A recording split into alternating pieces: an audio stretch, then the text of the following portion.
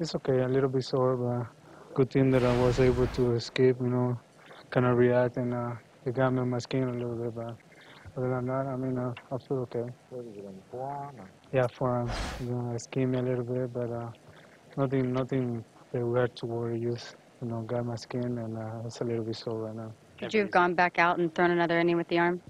Yeah, I could have. I mean, if yeah, if I needed to, but uh, I know that I was I threw a lot of pitches and uh, that inning, and uh, I gave up two runs. But other than that, I feel good. And uh, other than I make a mistake, I don't think it was because I got hit. I just you know make a mistake.